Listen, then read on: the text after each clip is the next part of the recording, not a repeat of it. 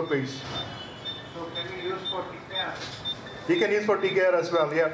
Any other, no, no need to block? No, no, no.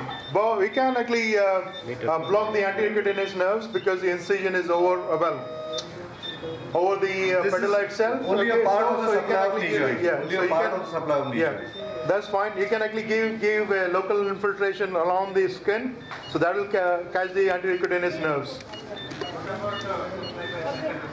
Main thing we have demonstrated here is it will be helpful for him because it will block of the it will block the medial aspect of the ankle where the surgery of this patient is going to be taken. Thank you. किया कि record किया कि नहीं किया देखे So with the popliteal nerve block, we block whole of the extremity below the knee joint, but femoral component, that is the femoral nerve going into saphenous nerve, which is now blocked at this adductor canal level.